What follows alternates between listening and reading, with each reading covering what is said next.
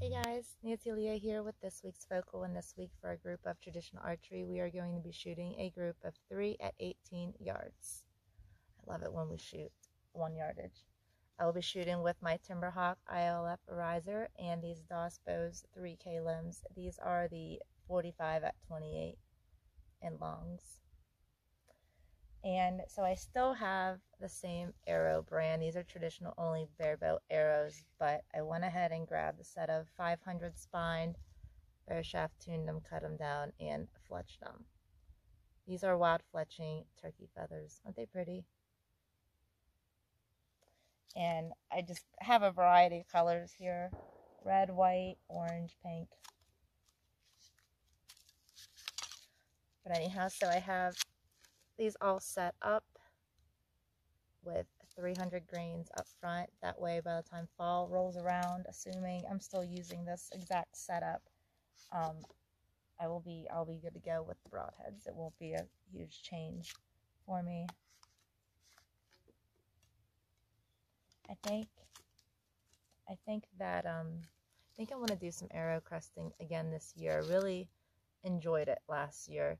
And it wasn't even just about the look of the arrow, it was the entire process the priming, dipping, sitting down and painting. Um, I kind of miss sitting down and doing a, a, creative activity like that. So I think think I'm gonna do that, and I'm thinking about doing a full dip, full dip arrows. If anyone has any good pointers for me, I'd love love to hear it. Last year I did cresting um, and crown dipping, but I only did 12 inches down or so. It's about there. I'd love to do the entire length of the arrows. And then last year I did one at a time. I did individual arrows. Each one's had their own themes. And I think this year maybe I'll bump it up to sets of three arrows just for fun, just because there's so many feathers, so many colors and paints. And I would just want to play around and make a bunch of arrows. So, so that is my rant. Let's go. Let's go shoot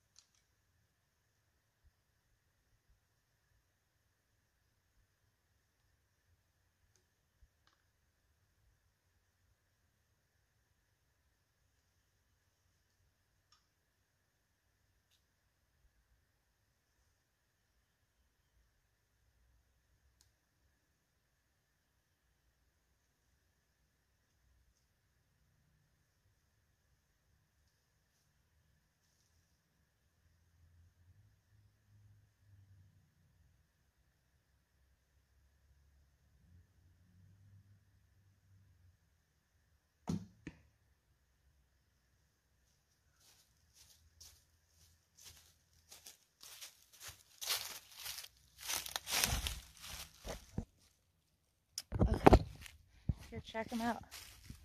I don't know why I got so nervous after the first shot. I had to like collect myself. Breathe. They look like good shots. But the sun's blinding. Not too shabby. Not too bad for their first round of shots. I mean, for sure, need to definitely work on that. But for now, definitely, definitely happy with that. And like I said, I got really nervous after that first shot. I don't know why. I think maybe because I haven't, I haven't, um, haven't shot these arrows yet. And not that I doubt my tuning ability, but I don't know. But anyway, so thanks for watching. I will see you next week and get your focals up.